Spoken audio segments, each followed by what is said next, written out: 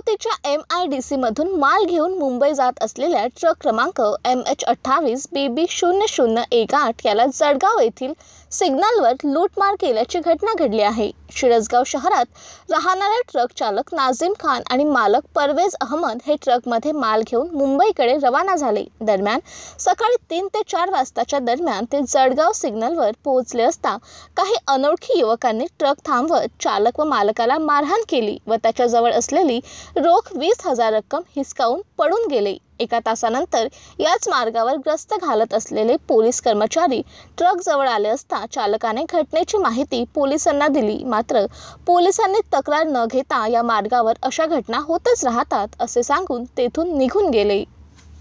हमारी अमरावती जिले की गाड़ी है।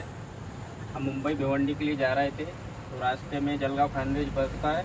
वहाँ पे कुछ लोग हमला किया हमारे पर। हमारी गाड़ी का कांच फोड़े है।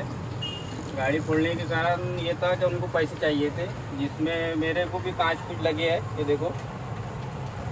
तो, तो हमारे जान का तो कुछ हुआ नहीं बाकी माल का हमारे बीस हज़ार रुपये छीन लिए उन लोगों ने और हमारे गाड़ी का कांच फोड़ दिए। ये तकरीबन घटना है रात के साढ़े तीन से पौने चार बजे की।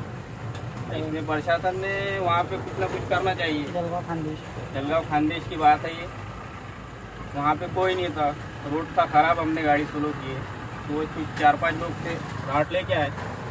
घाट लेके आने के बाद में उन लोग ने डायरेक्ट हमला किए क्योंकि हमारे बीस हज़ार तो गए और हमारे गाड़ी का कांच फूट गया।